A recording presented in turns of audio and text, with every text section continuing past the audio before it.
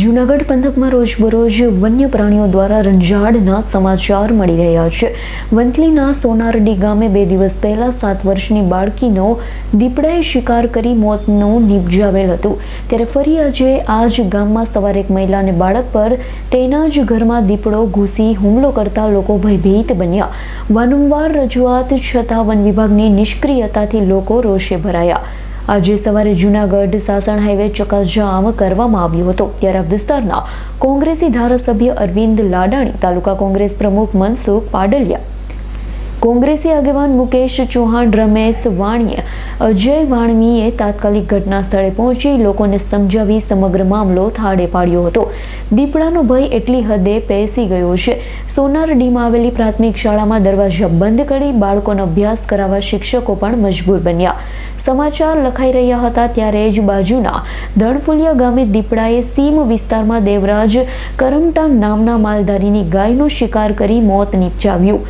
અત્રે ઉલ્લેખનીય છે કે સોનારડી ગામના સરપંચ દ્વારા અવારનવાર રજૂઆત કરવા છતાં વન વિભાગ હુમલાઓને રોકી શકવામાં નિષ્ફળ નીવડ્યું.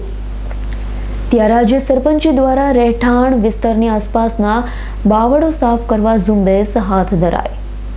અરવિંદભાઈ લાડાણી માણાવદર મત વિસ્તાર ધારાસભ્ય.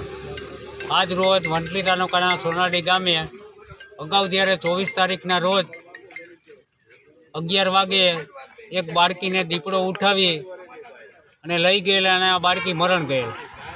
ત્યારબાદ આજે ફરીથી સિત્તાવીસ તારીખે ત્રણ દિવસ પછી ફરીથી આ ગામમાં દીપડો દેખાણો છે અને આજે પણ એક છોકરાને ઉપાડીને લઈ જતો હતો, પણ હો દેકારો થતાં આ દીપડો ત્યાંથી ભાગી ગયેલ છે.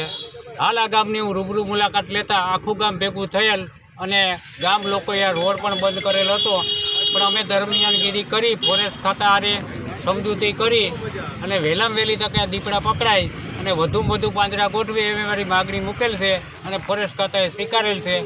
સાથે સાથે આ ગામે એના શ્રમથી આજુબાજુમાં જે ગાંડા બાવળનું જંગલ છે એ પણ કાઢવાનો સંકલ્પ કર્યો છે અને આજુબાજુ જે કાંઈ ખારવો પડતર જમીન છે, એને પણ ચોખ્ખી થઈ જશે.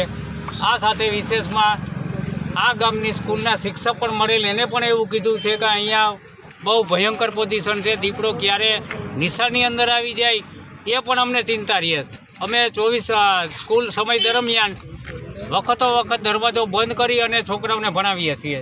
તો આના માટે સરકારશ્રીને હું ધ્યાન દોરું કે વહેલામ વહેલું નિરાકરણ લઈ આવે. વહેલામ વહેલા અહીંથી દીપડા ઉપાડે અને આ દીપડા ઉપાડી અને ઝૂમાં કે શક્કરબાગમાં મૂકે, ક્યાંય બીજી ખુલ્લી જગ્યામાં ના મૂકે એવી પણ અમારી માગણી છે.